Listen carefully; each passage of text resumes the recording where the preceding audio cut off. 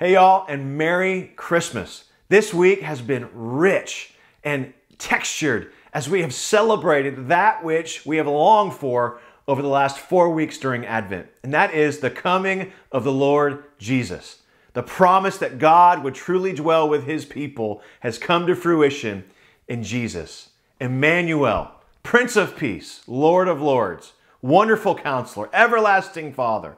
He's come and He is now with us. We hope that your time with us on Christmas Eve, as well as your time with your family, has been rich and textured and celebratory to this end.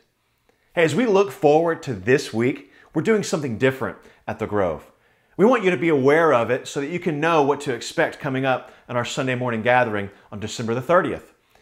This week, for the first time at the Grove, we are inviting all of our kids, kindergarten all the way through high school to join us in the gathering, not just for singing, but also for sermon and for sacrament.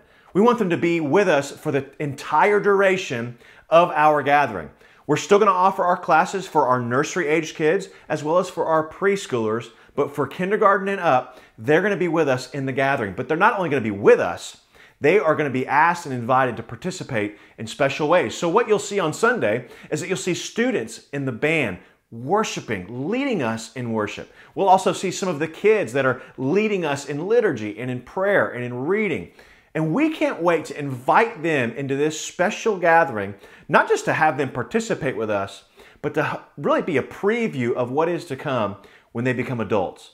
And so we can't wait to see you this week. It's going to be a special time together as we continue to honor and worship Jesus. And as we do, how is it that his coming should now affect our families as we gather around him? Not just during a season of Christmas or Advent, but all days and at all times. We can't wait to see you Sunday, and we can't wait to see how God uses these plans for his glory.